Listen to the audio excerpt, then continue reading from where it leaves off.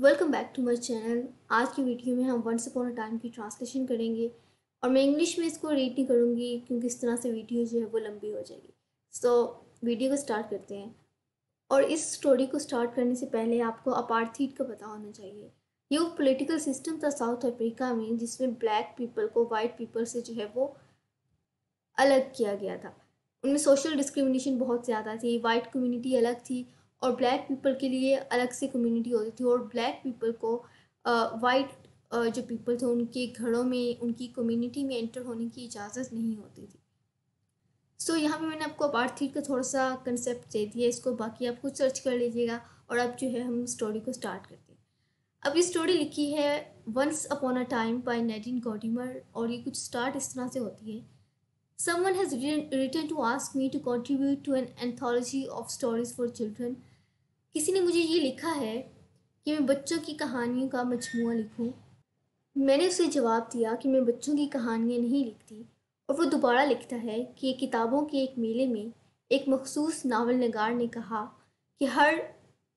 लिखारी को बच्चों की कम अज़ कम एक कहानी ज़रूर लिखनी चाहिए और उसके बाद वो सोचती है कि मैं उसे पोस्ट कार्ड भेजूँ जिसमें लिखूँ कि मुझे किसी चीज़ की लिखने की ज़रूरत नहीं and then last night I woke up और फिर पिछली रात में जाग गई और rather was awaken without knowing what had roused me ये जाने बगैर कि मुझे किस चीज़ ने जगा दिया था। A voice in the echo chamber of the subconscious a sound लाशूर की कोई आवाज़ थी या वैसे कोई आवाज़ थी? A creaking of the kind made by the weight carried by one foot after another लकड़ी की फर्श पर जो है वो कदमों की चलने की आवाज़ आ रही थी जो कि उसने सुनी। उसके कान जो है वो उस आवाज़ की तरफ़ मुतवजह हो जाते हैं, उसे दोबारा वो आवाज़ आती है। और उसे लगता है कि वो जो कदमों की आवाज़ है, वो एक कमरे से दूसरे कमरे की तरफ़ वो जा रहे हैं और अब ऊपर वो उसके दरवाजे की तरफ़ आएँगे। I have no burglar bars no gun under the pillow but I have the same fears as people who do take this precautions burglar bars कहते हैं विंडोज़ पे जो है वो प्रोटेक्शन लगाई जाती है बार्स होती हैं, उन्हें हम कहते हैं बर्गुलर बार्स अब उस, उसकी जो विंडोज़ पे ना तो बर्गुलर बार्स थी ना ही उसके पास गन थी और उसके जो खिड़की के शीशे थे वो भी बहुत पतले थे। सो so, अब उसे इस बात में जो है वो खौफजदा करती है और वो खुद को इनसिक्योर फील फील कर रही है। A woman was murdered how do they put it in broad daylight in house two blacks two blocks away last year और फिर वो आगे बताती है कि पिछले साल जो है उसके घर से दो ब्लॉक्स के फासले पर एक औरत का घर था जिसे उसे दिन की रोशनी में जो है वो कत्ल कर दिया गया था। विच सजेस्ट कि वो दिन के वक्त भी महफूज नहीं थे। ये तो फिर भी रात का वक्त है तो खौफ बनता भी है but that woman was murdered in the broad daylight फिर नेक्स्ट पैराग्राफ में I was staring at a door और वो दरवाजे की तरफ़ देख रही थी, और जो भी चीज़ थी उसने, उसको अभी तक देखा नहीं था बट वो स्टिल माइंड में इमेजिन कर रही थी कि अब क्या हो सकता है। और वो बिल्कुल एक विक्टिम की तरह पड़ी थी, बिल्कुल जो है वो स्टिल थी, और उसकी जो दिल की धड़कन है वो तेज़ हो रही थी। इसके अलावा वो हर जो हल्की सी या धीमी सी आवाज़ है, उसको बहुत गौर से सुन रही थी ताकि वो इंटरप्रेट कर सके कि क्या डेंजर है। नेक्स्ट पैराग्राफ है but I learn that I was to be night neither threaten not spare there was no human weight pressing on the words और फिर वो कहती है कि, मैं जानती हूँ कि मुझे जो है वो ना ही धमकी दी जाएगी और ना ही मुझे मारा जाएगा। फिर उसके बाद उसे पता चलता है कि वो जो आवाज़ आ रही थी वो किसी इंसानी कदमों की आवाज़ नहीं थी, बल्कि ये स्ट्रेस की वजह से था, उसके जहनी जो जहनी तनाव की वजह से था। और जो आवाज़ थी वो बेसिकली आ रही थी गोल्ड माइन से, यानी उसके घर के करीब जो है वो सोने की कानें थी, वहाँ पे जो है वो खुदाई हो रही थी around three thousand feet below और उसकी वजह से जो है वो the whole house shift slightly bringing un uneasy strain to the balance and counter balance of brick cement wood and glass that hold it as a structure around me और उसकी वजह से वो घर में भी जो है वो उसे उस तरह की आवाज़ें आ रही थी या वो फील कर रही थी। उसके बाद वो अपनी पोजीशन बॉडी पोजीशन चेंज करती है ताकि उसे नींद आ जाए, लेकिन उसे नींद नहीं आती तो दोबारा अपने आप को एक कहानी सुनाना शुरू कर देती है अ बेड टाइम स्टोरी तो it's a story within story और नेक्स्ट स्टोरी अब जो इसके अंदर स्टार्ट हो रही है, उसको हम स्टार्ट करते हैं। In a house in a suburb in a city there was a man and his wife who love each other very much and वो लिविंग हैप्पीली एवर आफ्टर एक घर में, एक नवाही इलाके में, एक शहर में, एक आदमी और उसकी बीवी रहते थे, जो एक दूसरे से बहुत मोहब्बत करते थे और खुशी से ज़िंदगी गुजार रहे थे। डेड लिटिल बॉय उनका एक छोटा लड़का था और जिससे वो बहुत मोहब्बत करते थे। उनके पास एक बिल्ली और कुत्ता था, जो कि उस छोटे लड़के को बहुत पसंद थी। They had a car and a van trailer for holidays और उनके पास छुट्टियों के लिए कार थी और एक ट्रेलर था। और फिर उसके बाद एक स्विमिंग पूल था जिसके इर्द गिर्द उन्होंने बाढ़ लगाई हुई थी ताकि वो जो छोटा बच्चा है और उसके जो फेलोज़ हैं, वो उसमें गिर के डूब ना जाए। फिर उनके पास देर हाउस मेड जो कि बहुत काबिल अतमाद थी, उस पर उन्हें ट्रस्ट था और फिर एक गार्डनर था, वो भी बहुत ट्रस्ट वर्दी था and it was he was recommended by the neighbours फिर आगे उसके बताया हो कि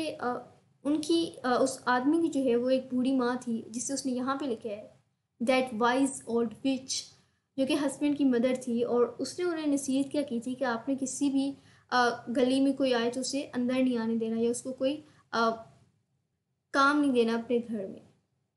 फिर आगे उनकी सब कुछ प्रोटेक्टेड थी लाइसेंस थी इंश्योरेंस हुई थी सबकी। Their pet talk was licence they were insured against fire flood damage and theft ताकि कोई भी सलाह आता है चोरी होती है तो वो इंश्योरेंस के थ्रू उनके नुकसान का अजाला हो सकता था। सो so, उन्होंने हर चीज़ को जो है वो इतना ज़्यादा प्रोटेक्ट किया हुआ था। अभी तक जो हमें स्टोरी से पता चल रहा है वो ये।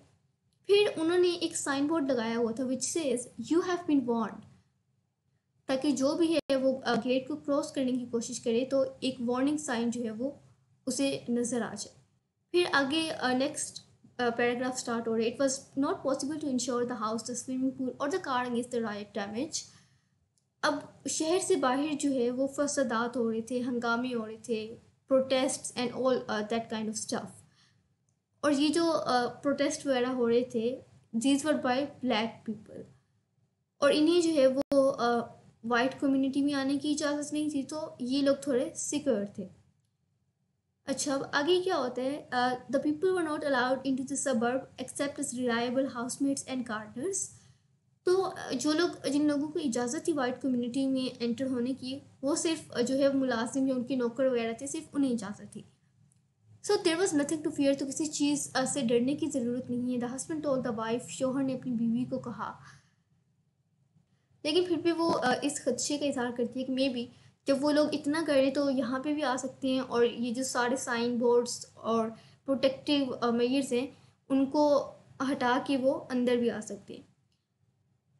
Nonsense my dear said the there are police and soldiers and tear gas and guns to keep them away तो अब श्योर उससे तसली देता है कि उसमें वहाँ पे पुलिस है सोल्जर्स हैं, जो कि ऐसे लोगों को जो है यहाँ से दूर रखेगी। तो तुम्हें इतने घबराने की ज़रूरत नहीं है। अब चूँकि इतने हकामे फसदात हो रहे थे, उसकी बीवी फिर भी खौफसदा महसूस कर रही थी तो वो क्या करते हैं? वो इलेक्ट्रॉनिकली कंट्रोल्ड गैस जो है वो फिट करवा देती हैं। तो जो भी जो है वो उस साइन को क्रॉस करने की कोशिश करेगा तो उससे जो है वो स्पीकर के थ्रू जो है वो बताना पड़ेगा कि वो क्यों वहाँ पे आया है। अब जो छोटा लड़का था, वो इस डिवाइस से बहुत फैसिनेट होता है और वो जो है वो डाकू और पुलिस वाला जो खेल खेलने शुरू हो जाता है अपने दोस्तों के साथ और उसको as a walkie talkie use करता है उस डिवाइस को। द राइट्स वर सप्रेस्ड हंगामे या फसादात दबा दिए गए but there were burglaries in the suburb and somebody's trusted housemate was tight up and shut up uh, shut in a cupboard by while she was in charge of her employer's house. अब वो फसादात तो ख़त्म हो गए थे but बर्गलरीज यानी वहाँ पे चोरियाँ स्टार्ट हो गई थी उस सबर में। और किसी जो है वो नुकरानी को, वो थीव्स आए उसे बाँध दिया एक कबर्ड में और फिर वो चोरी करके चले गए। अब वो जो इस शोहर और बीबी की और ये जो छोटा लड़का था, इनके घर में जो हाउसमेट थी, वो इस इंसिडेंट से बहुत अपसेट होती है और उन्हें जो है वो कहती है कि आप यहाँ पे बर्गलर बार्स अटैच कर दें डोर्स और विंडोज़ पे और इसके अलावा वो अलार्म सिस्टम भी वहाँ पे लगवा देते अब वो जो वाइफ होती है, वो उससे एग्री करती है और वो ये सब कुछ प्रोटेक्टिव मेयर्स ले लेते हैं। तो हर खिड़की और हर दरवाजे पे वो बार्स लगा देते हैं। अब वो जो खिड़कियों से, जिससे वो पहले हैप्पीली एवर आफ्टर थे और वो आसमान को देखते थे, दरख्तों को देखते थे कम्युनिटी को जो देखते थे, अब वहाँ पे बार्स लग गई थी। And they could hardly see it अब फिर आगे वो बताते हैं when the little boy's pet cat try to climb in by the fan light to keep him company in his little bed at night as it customarily had done it set off the alarm keening through the house अब वो जो उस लड़की की बिल्ली है, वो रात को जो है उसके पास सोने के लिए आती है, वो उसी विंडो से जंप करके आती है तो वहाँ पे जो अलार्म था, वो वहाँ पे बजना शुरू हो जाता है। The alarm was often answered it seem by other burglar alarms in other houses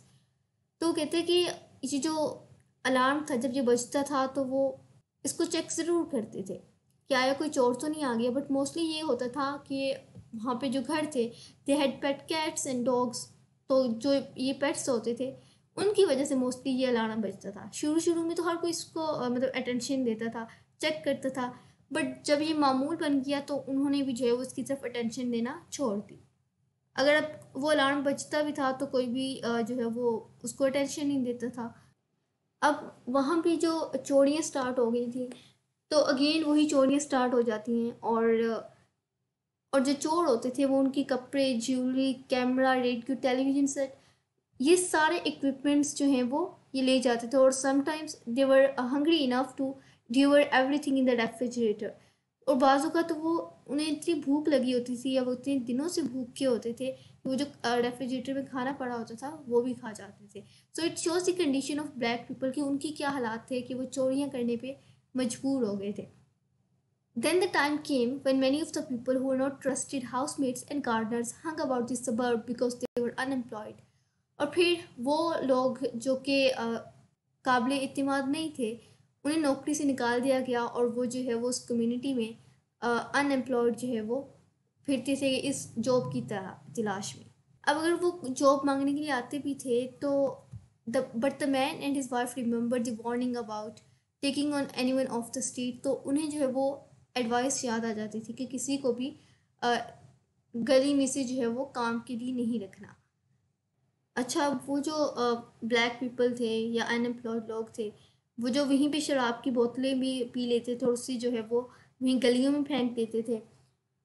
या वो दरख्तों के नीचे वहीं पे सो जाते थे और इंतज़ार करते थे कोई उन्हें खाना दे जाए या कोई उन्हें जॉब दे दे। अच्छा अब यहाँ पे राइटर ने वर्ड यूज़ किया है spoiled only by their presence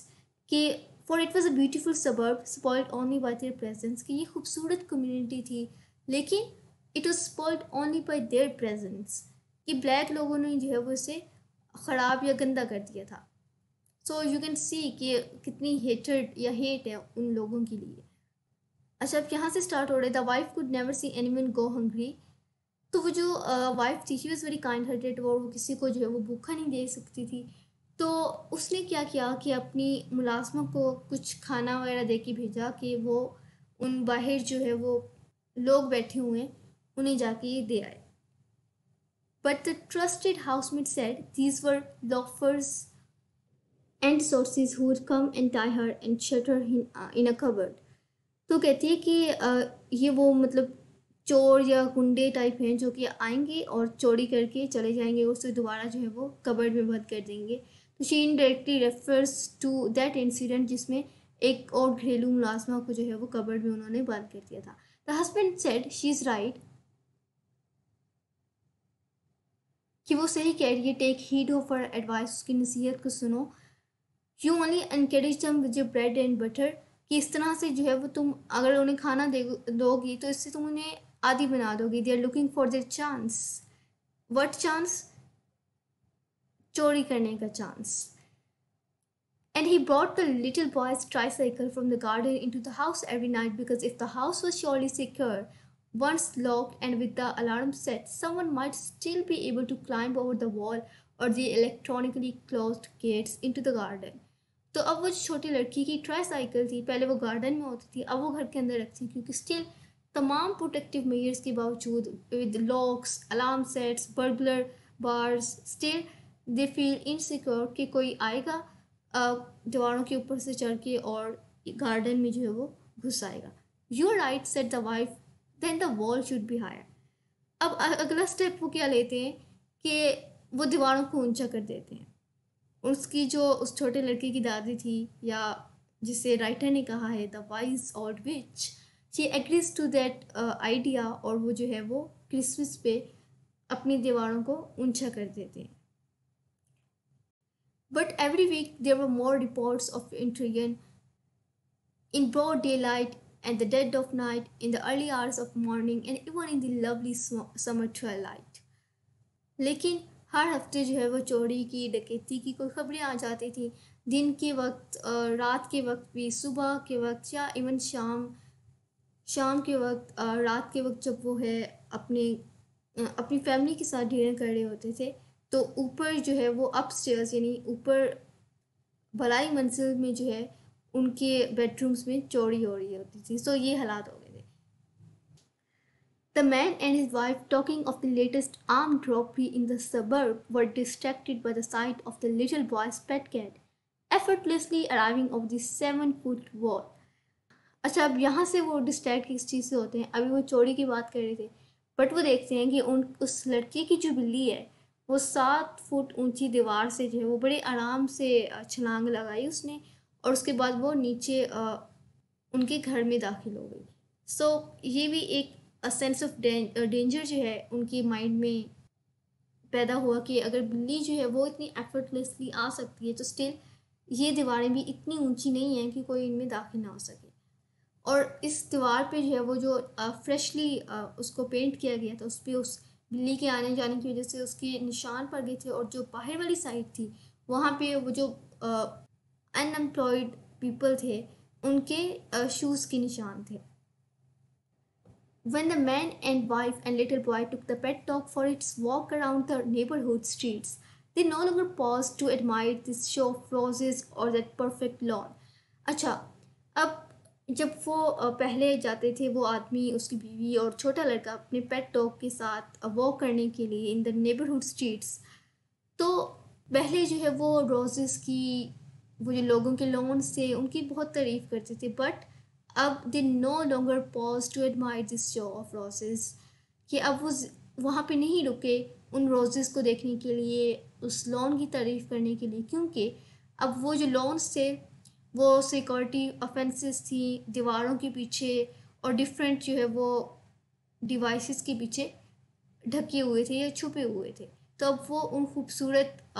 चीज़ों को एडमायर नहीं कर सकते थे, क्योंकि वो उन्हें देख भी नहीं सकते थे। अच्छा अब इतनी प्रोटेक्टिव मेजर्स लेने के बाद वो एक लो कॉस्ट ऑप्शन पे आते हैं।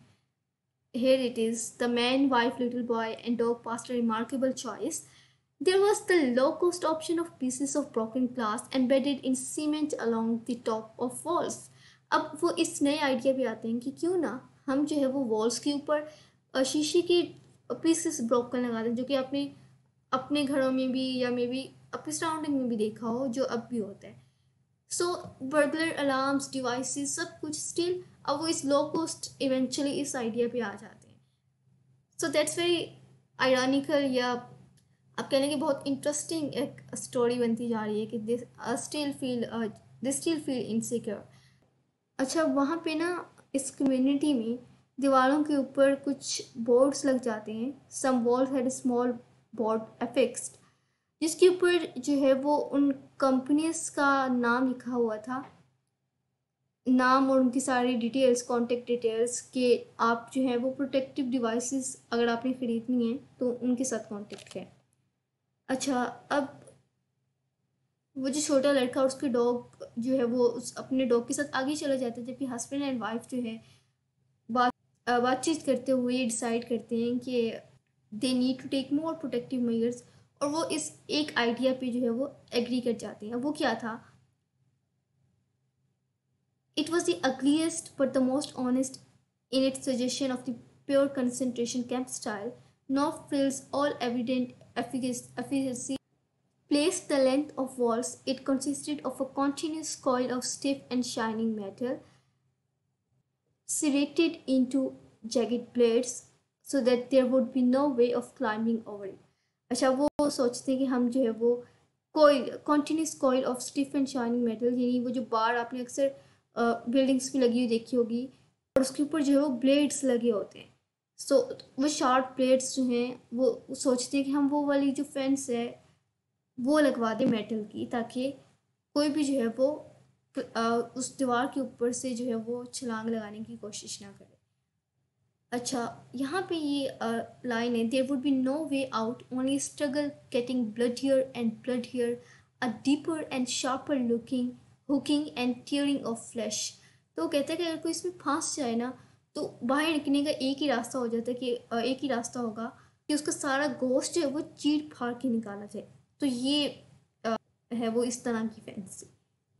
the wife shudder to look at it और वो जो बीवी थी, उससे उसे देखने से ही हो पाता था। You right said the husband anyone would think twice कि कोई भी है जो इसके ऊपर छलांग लगाने की कोशिश करेगा या क्लाइंब करने की कोशिश करेगा तो वो uh, सोचेगा इस बारे में। And it took heed of the advice on small board small board fix to the wall consult dragon teeth the people for total security तो वो किस कंपनी से कंसल्ट करते हैं? ड्रैगन स्टीथ थे इस फेंस को इंस्टॉल करवाने के लिए। Next day a gang of workman came and stretch the razor bladed coils all around the walls of the house with the husband and the wife and the little boy and pet dog and cat for living happily ever after और फिर वो कुछ uh, workman आए जिन्होंने वो जो coil थी metal की, उसके ऊपर uh, प्लेट्स लगे हुए थे, उन्होंने जो है वो uh, उनकी दीवारों पे वो लगा दी। Sunlight flashed and slashed off the serrations the corners of razor thorns and circle the home shining अब वो जब सनलाइट उसके ऊपर पड़ती है, वो मेटल है इट्स शाइनिंग तो वो पूरा वो जो सराउंडिंग है, या वो उनकी बाउंड्री है,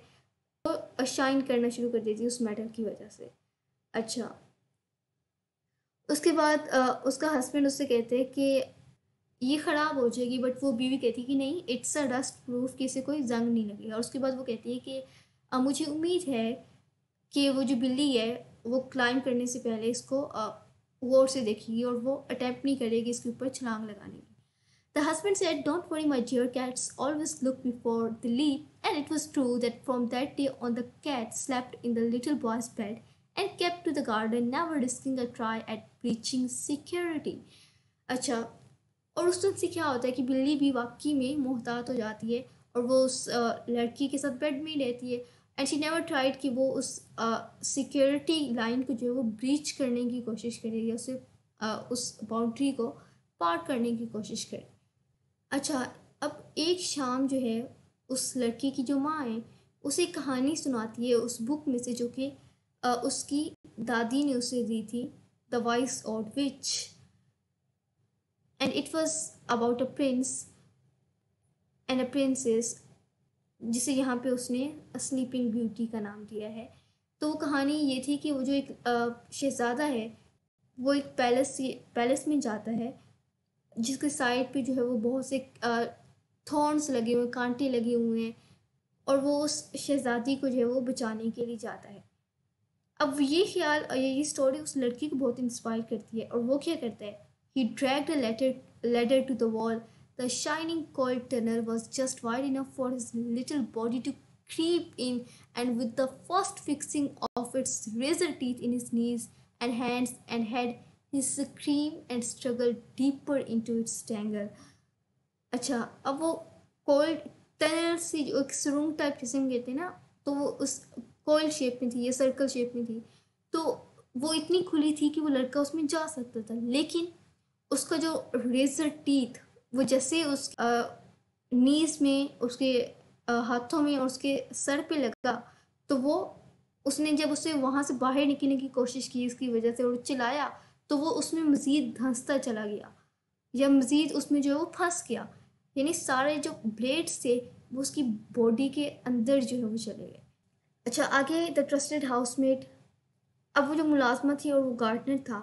वो बाहर आते हैं देखने के लिए कि क्या हो है, चलाने की आवाज़ कहाँ से आ रही है। और जब वो देखते हैं तो वो गार्डनर जो है, वो अपने हाथ जो है, वो ज़ख्मी करवा बैठते हैं उस छोटे लड़के को बचाने की कोशिश में। Then the man and his wife burst wildly in to the garden and for some reason the cat probably the alarm set up wailing against the screams और जब वो लड़का चलाना शुरू करता है ना तो साथ ही वो अलार्म बजना शुरू हो जाता है। So that's kind of ironical कि जिस चीज़ से प्रोटेक्शन की उन्होंने कोशिश की थी, या जिस रीज़न से उन्होंने वो अलार्म सेटअप करवाया था, वो उनके अपने ही बच्चे की वजह से जो है वो बजना शुरू कर हो जाता है। और वो अलार्म जो है, वो उसी वक्त बजना शुरू होता है जब वो बच्चा जो है वो चलाना शुरू करता है। सो so, यहाँ पे आइडनी है कि वो उन्होंने इंस्टॉल उन थीव से बचने के लिए करवाया बट वो अलाड़क कब बचता है? जब उनका अपना बच्चा जो है वो उसमें उसकी वजह से कट जाता है। While the bleeding mess of the little boy was hacked out of the security calls with saws, wire cutters, choppers, and they carried it. और उस लड़की का जो बॉडी थी उसको कटर्स के थ्रू चॉपर्स के थ्रू जो है उसे काट के निकाला गया। And the man the wife the hysterical trusted housemate and the weeping gardener in to the house और वो जो है सारे हाउस uh, मेंबर्स हैं वो वहाँ पे रो रहे होते हैं। So the story that started with once upon a time there was a family who lived happily ever after it was never ever after और ये क्लैमिटी जो है उनके बच्चे पे, उसके, उनके बच्चे पे उनकी अपनी ही वजह से जो है वो आ जाती है। So it is kind of a very tragic end and I hope कि आपको ये वीडियो पसंद आई है। और अगर आपको ये पसंद आई है तो don't forget to give this video a huge thumbs up and subscribe to my channel for more such videos I will see you next time till then अल्लाह हाफिज़